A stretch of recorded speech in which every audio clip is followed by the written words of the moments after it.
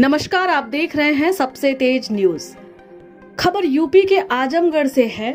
आज आजमगढ़ के नेहरू हाल में किया गया सम्मान समारोह। आपको बता दें कि आजमगढ़ की बेटी सोनाली सिंह द्वारा प्रदेश और देश के स्तर पर बैडमिंटन प्रतियोगिता में कई बार मेडल प्राप्त करने के बाद खेलो इंडिया में बेहतर प्रदर्शन के लिए ब्रांड पुरस्कार पाने के बाद जिलाधिकारी आजमगढ़ ने आज सोनाली सिंह का सम्मान समारोह आजमगढ़ के नेहरू हाल में रखा।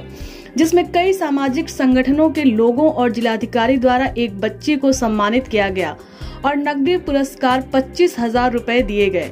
जिलाधिकारी ने कहा कि ग्रामीणांचल की होने के बाद भी सोनाली ने जनपद का नाम रोशन किया और हम इन्हें प्रोत्साहित करने के लिए इस तरह के कार्यक्रम का आयोजन कर रहे हैं। भविष्य में आगे बढ़ने में सोनाली को मदद मिल सके। धन्यवाद।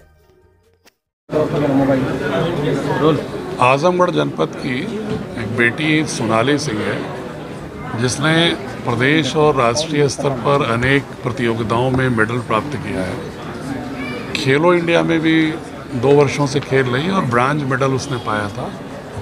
तो मुझे लगा कि एक ऐसी बच्ची जो ग्रामीण परिवेश के होते हुए अपने पिता और माँ के सपोर्ट से नोएडा में जाकर एकेडमी ज्वाइन करके ट्रेनिंग लेकर के एक उच्च शिखर तक पहुँच सकती है। तो उसको अपने जनपद में उसका अभिनंदन होना चाहिए ताकि यहाँ की बच्चियाँ भी उससे प्रेरणा ग्रहण करें और उसके भी मनोबल में वृद्धि हो ताकि भविष्य में और अधिक ऊर्जा के साथ और अच्छे मुकाम पर जाने की उसके अंदर हौसला पैदा हो। अगर आपको हमारा वीडियो अच्छा लगा तो लाइक करें शेयर करें। साथ ही हमारे यूट्यूब चैनल को सब्सक्राइब करना ना भूलें। लेटेस्ट वीडियो अपडेट के लिए घंटी बटन दबाएँ।